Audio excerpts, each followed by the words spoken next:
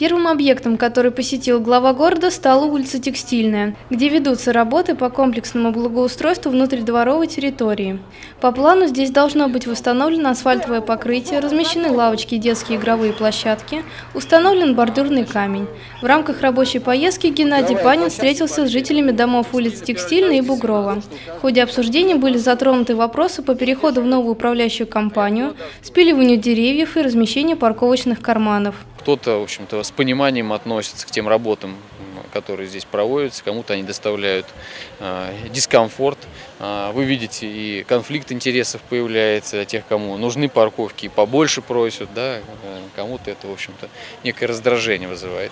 Ну, в общем-то, мы пытаемся найти некий э, компромисс, чтобы максимальному количеству жителей было комфортно. Следующим объектом посещения главы города стала улица Огородная. Здесь выделено 79 земельных участков многодетным семьям. В ходе осмотра был выявлен ряд проблем. Многие участки заболочены. На территории необходимо проложить дорогу. И от меня, и от других глав, в общем-то, эти вопросы а, были направлены губернатору.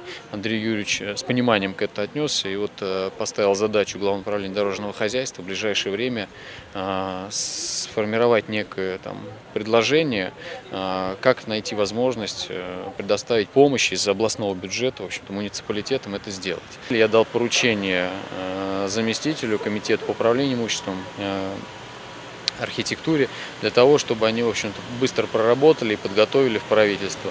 Ну, в общем-то, если э, найдут средства на реализацию этой программы, то это будет большая нам помощь. Геннадий Панин посетил проезд Барышникова, 14, куда глава города выехал по жалобе жительницы. В районе этого дома находится проблемная территория, заросшая деревьями и кустарниками, в результате чего там сложилась небезопасная ситуация. Были случаи нападения на людей.